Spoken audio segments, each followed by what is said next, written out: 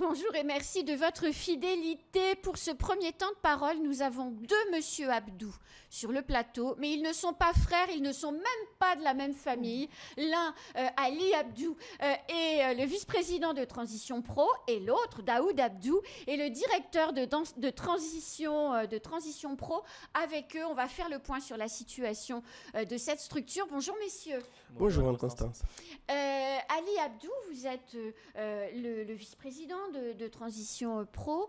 La, structure, qui est une structure associative, a traversé de grosses, grosses difficultés pendant l'année 2023. On a eu très peur pour, pour sa survie. Où en est-on aujourd'hui? Alors, bonjour Anne-Constance, bonjour aux auditeurs et auditrices. On respire. Pour tout dire, on respire. Euh, on n'est pas sorti de l'eau puisque les promesses sont là. Euh, on a tapé les portes qu'il fallait taper. Je remercie d'ailleurs au passage le sénateur Tani et Mme Estelle Soufa qui se sont mobilisés à la fois au Sénat mais également à l'Assemblée et qui ont saisi les ministres compétents euh, sur ce dossier de transition pro. Effectivement, euh, on a été entendu, des promesses ont été faites, mais jusqu'à aujourd'hui, il n'y a pas eu de suivi des faits. Alors, c'est quoi les promesses qui ont été faites? Euh, en réalité, on a une dotation qui est en deçà euh, de, de ce qu'il nous faut pour fonctionner. Euh, à titre d'exemple, euh, on ne peut pas aujourd'hui se permettre de traiter les dossiers de transition pro et à Mayotte. Sinon, ça, ni- ça signifierait notre fin. Alors, euh, justement, donc euh, les subventions, elles étaient, enfin voilà, il y avait beaucoup d'argent euh, qui était qui était en jeu. Vous avez signé une convention avec Transition Pro Île-de-France qui gère, qui instruit en quelque sorte les dossiers pour pour Mayotte. Oui, tout à fait. Nous sommes créés en, 2000 en mille- en 2019. Nous avons commencé nos activités en 2020, mais vu qu'on n'avait pas d'agent, on avait sous-traité nos dossiers à La Réunion, Attention Pro La Réunion, qui nous facturait 500 euros par dossier traité. Et puis, C'est beaucoup d'argent, oui, ça. Tout à fait, mais rien ne se fait gratuitement euh, de nos jours. Donc, euh, on- n'avait que cette option-là, de toute façon. Donc, on, on l'a fait. Euh, arrivé en 2021, en 2022, pardon, ils ont levé, levé- levé la main. Ils ont dit on ne peut pas. Vous commencez à avoir du volume. Nous n'avons pas les ressources humaines pour suivre. Donc, euh, démerdez-vous. Enfin, euh, gentiment. Plus poliment. Oui, ouais, Voilà. dit plus gen- gentiment. On a arrêté de traiter le dossier, Oui. d'où la crise du, de- du début de l'année. On a, on a arrêté d'instruire les dossiers. Et pas les moyens de- d'embaucher euh, en Exactement. plus ici. Exactement. Nous n'avons pas les moyens d'embaucher parce que les partenaires ne suivent pas, notamment le conseil départemental qui est censé nous accompagner sur ce, ce type de dispositif. Mais qui est fauché comme les blés. Eh bien, écoutez, euh, toutes les transitions pro de France et de Navarre sont accompagnées par leur région ou leur département. Donc, euh, on, s'attend au même traitement. Maintenant, nous ne connaissons pas leurs conditions. Euh, donc, nous avons trouvé une solution, d'où la convention avec l'Île-de-France, euh, qui a accepté de prendre en charge le traitement de nos, de nos dossiers pour que le salarié maoré du secteur privé puisse bénéficier euh, de son droit à la formation et à la transition professionnelle. Euh, et, et ils vous facturent combien? Euh, alors là, euh, ils, ils ont accepté de le faire à titre gracieux. Ah, C'est formidable. Donc, vous voyez que tout n'est pas payant. Ah oui, non, non, mais il, faut, il faut voir qu'ils traitent un million et que Mais nous, oui. on n'est que euh, une- moins de 100 dossiers par, par an. Ça, ils ne le sentent pas venir. Mais euh, c'est- important et moi, je, veux saluer le geste qui a été fait par euh, Transition Pro Île-de-France qui, a dit, OK, nous savons que vous avez des difficultés, nous sommes un réseau, nous allons vous, vous aider, vous assister, puisque la convention demande également à ce que l'Île-de-France nous accompagne à monter en compétence jusqu'à ce qu'on soit autonome techniquement. Donc à ce que Daoud en face puisse prendre la main et euh, puisse euh, monter en compétence les équipes à venir. Si on, enfin on arrive à avoir des dotations pour recruter, pour que euh, d'ici à l'horizon 2 ou 3 ans, Transition Pro Mayotte soit Complètement au- au- autonome. autonome. Alors, euh, Daoud Abdou, comment ça se passe aujourd'hui si bah, l'un de nos téléspectateurs ou de nos auditeurs se dit, moi, je- j'en ai ras-le-bol du travail que je fais, je, je ne, je ne me, retrouve plus dans l'activité professionnelle que j'ai. J'ai envie de, faire de la formation, j'ai envie de changer d'orientation complètement. Euh, Transition Pro, c'est l'outil.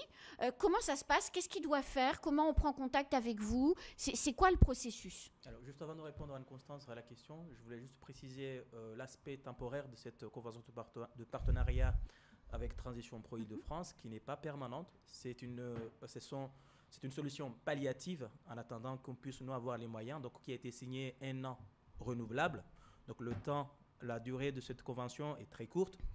Le message derrière, c'est aussi de dire que on, reçoit une aide de, nos, collègues euh, euh, franciliens, d'accord, pour que nous on puisse continuer à fonctionner de manière euh, bah, semi-autonome, parce que là, en partie, les dossiers, justement, ils sont, gérés par Transition Pro Île-de-France, mais c'est aussi un message aussi à l'État pour dire que là, actuellement, on bénéficie d'une aide qui est temporaire.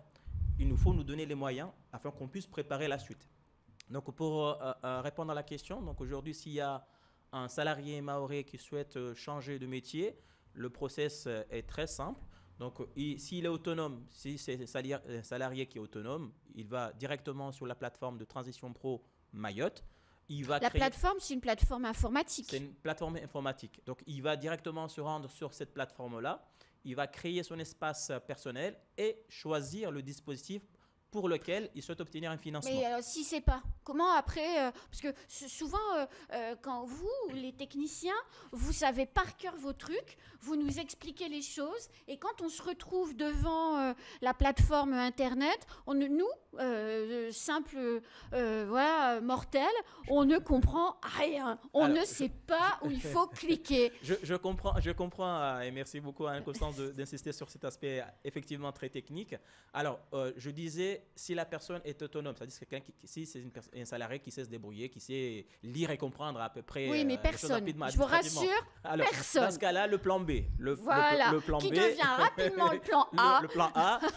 le salarié peut prendre contact avec son CEP, le fameux Conseil en évolution professionnelle, pour demander un accompagnement. Et on le trouve où, ce monsieur-là? Alors, ils sont, euh, ils sont plusieurs au niveau de Mayotte. Il y a ce qu'on appelle les CEP par défaut, qui sont pour l'emploi, euh, APEC Réunion euh, la mission locale également qui délivre le, CEP et également un opérateur privé qui a été mandaté par France Compétences qui s'appelle euh, euh, Retravailler Mayotte qui est, qui est situé au centre des affaires Maharaja en face de la MGN, dont le numéro de téléphone, je commence à le connaître, à le connaître par cœur, pardon, c'est le 61 0020. Donc on, appelle au 61, le salarié appelle le 61 0020 pour prendre rendez-vous auprès d'un CEP qui va non seulement euh, lui donner toutes les informations dont il aura besoin pour constituer son dossier de demande de financement, mais en même temps bénéficier d'un appui technique j'insiste bien sur l'appui technique dans le montage de son dossier de demande de financement. Qui paye sa prestation? C'est l'État.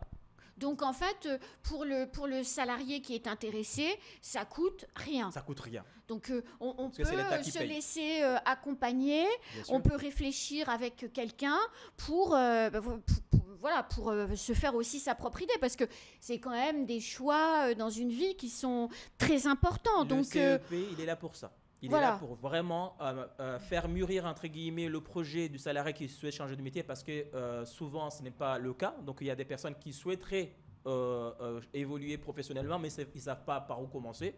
donc, du coup, ils vont pouvoir bénéficier de cette, de cette, expertise qui est totalement gratuite. Donc, il y en a qui sont déjà, ils ont une vision très claire de ce qu'ils veulent faire. Ça va beaucoup plus vite. et ceux qui ont besoin de temps, et bah également, ils peuvent se faire accompagner par ce CEP qui va, euh, selon leur, leur, euh, leur progression euh, ou leur maturité, la maturité de leur projet, pouvoir déposer par la suite leur demande de financement sur la plateforme de transition Pro Mayotte.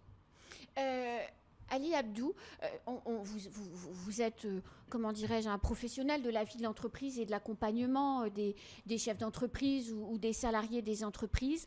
Euh, dans vos contacts, euh, c'est des, questions qui reviennent souvent à Mayotte où des, salariés, alors qu'ils soient cadres ou pas, hein, puisque ce n'est pas, exclusif, se, se, disent, moi, ça fait 10 ans, 15 ans que je bosse dans telle entreprise, que je fais tel métier, j'ai envie de changer. C'est des, des qui, qui, qui existent ici Oui, plus qu'ailleurs, puisqu'à Mayotte, euh, comme on n'a pas un marché de travail très développé, euh, quand on arrive euh, de métropole ou d'ailleurs, on, prend ce qu'on trouve.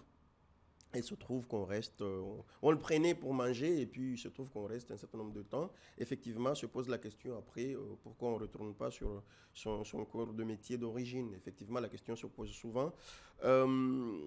Et l'avantage qu'il y a Transition Pro par rapport aux autres dispositifs, c'est que nous, euh, pendant que la personne est en formation, non seulement on paye le coût pédagogique de centre de formation, pour être juste, et puis on maintient le salaire même si c'est pour aller créer une entreprise après ou pour aller vers une autre entreprise. Parce que l'employeur aujourd'hui ne va pas vous payer une formation qui l'intéresse pas. Bah, euh, surtout s'il comprend très vite que c'est pour partir. Et donc voilà. Alors que nous, euh, à contrario, euh, même si vous êtes secrétaire et que vous dites vous, vous- voulez être plombier, non seulement on, on vous paye la- le coût de la formation pour devenir plombier, en plus on vous maintient le salaire que vous aviez quand vous étiez en poste le temps de la formation. C'est très important ça parce que euh, voilà quand on est déjà dans un parcours professionnel on a des charges Enfin, c'est tout bête mais il faut élever les enfants il faut remplir le frigo payer éventuellement un loyer euh, payer une voiture donc euh, cet accompagnement financier ou en tout cas ce maintien du salaire c'est aussi une perspective rassurante Oui, tout à fait. Donc, d'où la, la- la pertinence du dispositif, en fait. C'est un dispositif qui n'existait pas. Avant, en métropole, on avait les fonds GESIF oui qui ont été transformés en transition pro par la suite. Nous, on est rentré directement euh, dans le cadre des transitions pro. Mais avant nous, ça n'existait pas. Il n'y avait que Acto qui finançait euh, la formation que l'employeur avait bien voulu euh, vous octroyer. Aujourd'hui, on peut même démissionner, c'est ce qu'on appelle chez nous le dispositif démissionnaire, et se faire financer euh, sa formation. Et là, par contre, c'est le Pôle emploi qui paye, et nous, nous sommes que techniques, nous, nous, Alors, nous apprécions que la formation. Daoud Abdou, quelle est la part des choses entre ce qui va se faire euh, à Mayotte dans la gestion ou l'instruction du dossier du, salarié euh, en reconversion? Qu'est-ce qui se fait à Mayotte? Qu'est-ce qui se fait en Ile-de-France Ok. Alors justement, cette convention, elle est sur euh, deux volets. Le premier volet, c'est tout ce qui est avant le dépôt du dossier au niveau de la plateforme. Tout ce qui se fait avant le, dossier sur notre plateforme, c'est Transition Pro Mayotte qui s'en- qui s'en occupe. Ça, ça consiste à quoi? Tout ce qui est information, délivrer de l'information à la personne qui veut déposer son dossier, bah, c'est nous qui gérons. Enfin, c'est- Mhm. C'est moi qui gère.